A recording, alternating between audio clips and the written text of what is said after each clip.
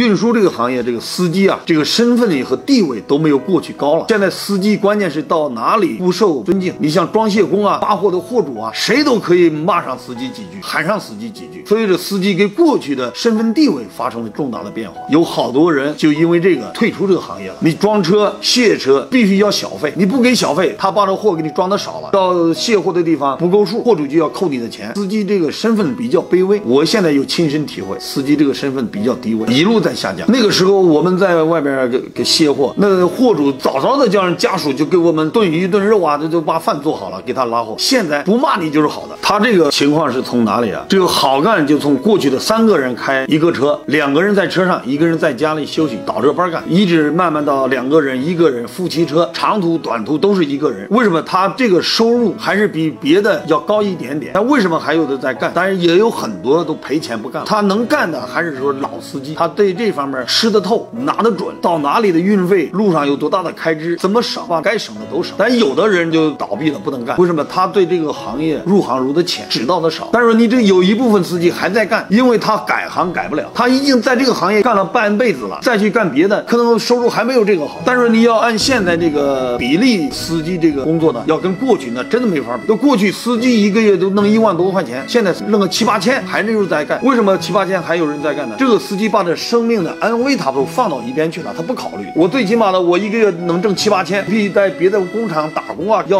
多一点。他都不考虑自己的生命和这个危险性，所以他还在干这个。他已经习惯这个行业了，所以说导致这个不好干就在这里。这个按百分比说吧，百分之七十的人还在干，因为百分之七十的人都是老司机了，对这个吃得透。过去我这个车一个月必须要挣两万，但是现在挣两万是带着工资挣两万，但这样还能干。有的新司机一部分人上来了以后，他没有固定的货源，也不会去搞。好关系弄着弄着，他就别说分期了，工资都弄不出来，天天车在家歇着，所以他就不干了。他不干了以后，他就不会说，哎呀，我我这方做的不行，人都愿意说好的，不愿意说不好的，所以他就不吭声了。不干的人太多了啊！我是开车出身，自己有一个创事业的这个心思吧，干好了一个，觉得一个车挺容易的，就找一个朋友你给我开，我在。